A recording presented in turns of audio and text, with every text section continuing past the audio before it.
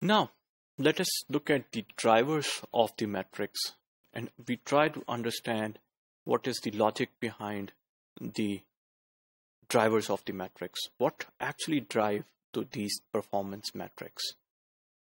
The performance of an entity or a function is often driven by certain other factors that may be internal or external to the organization. So it is important to understand the drivers of the performance of any metric. So now let us look at this concept in detail. For example, the generic model to predict service reliability may be expressed as follows. Now, this is not a simple metric. We have actually modeled the situation. We have actually modeled the service reliability.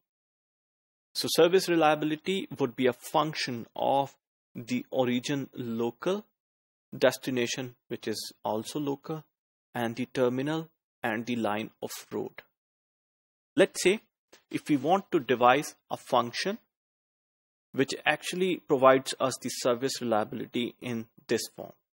So the actual functional form of the model for a given railroad may be expressed as follows. So here we are not using a metric but instead of it, we are using the driver for some performance, that is a model. So service reliability would be equal to POD, that is origin and destination, to some power A with T, B and L power C, where POD is the combined performance of the origin and destination locals T is the terminal performance and L is the line of road performance. So whatever was in our function of service reliability, we have taken it in our service reliability model. In addition to it, A, B, and C are the corresponding exponents, powers. An inverse of the service prediction model may be used to compute the breakdown performance. So if it is my service reliability अगर ये मेरी service reliability है तो इसका inverse यानी one over service reliability will actually give me the breakdown performance.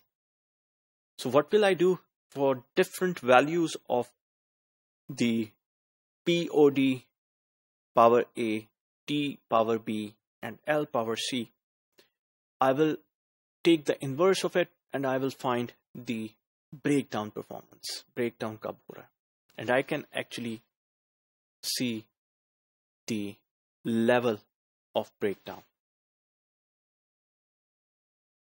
So this is the depiction of this example. On your x-axis you have the local performance and on your y-axis you have line of road performance. So by taking the inverse of the service reliability we have different values for different terminals. And you can see the performance is higher for the terminals with 90% road performance. So in this way, the model can be used as a driver for making some metrics.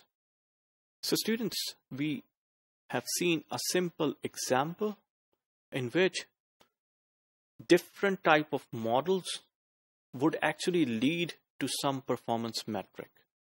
Thank you.